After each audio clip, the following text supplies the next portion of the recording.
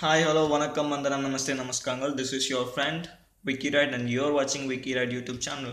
In this video, I'm going to tell you about NTA. Many of you may not know about what is NTA.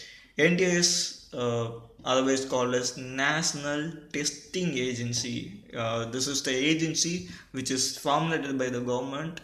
Uh, it is formulated by the central government with ministers central ministers and this is just going to organize the exams of all over the india um, you already know what is NEET exam. So NEET is no- nothing but National Eligibility Cum Entrance Test, which is conducted for the students those who want to pursue uh, pursue MBBS or BDS in medical colleges.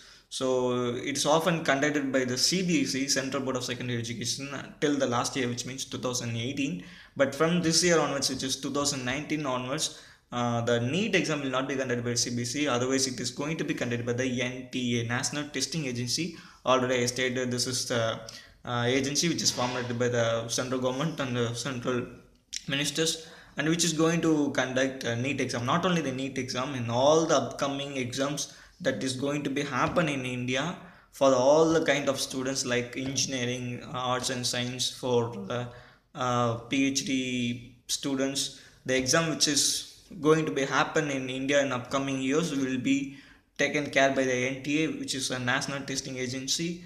And uh, initially, they just proposed for the two exams. Like uh, NEET is one of their aim that they are going to conduct from upcoming 2019 onwards, and also by UGC NET. UGC NET also you already know those who want to uh, become a lecturer or assistant professor, those who want to do JRF and SRF of their research they should clear the UGC NET exam. This is for the MSc graduate and those who want to pursue a PhD. So the UGC NET is often conducted by the UGC till the last year, but from this year onwards, this UGC NET exam will be conducted by the NTA. So the, it has been officially uh, announced in their NTA official website.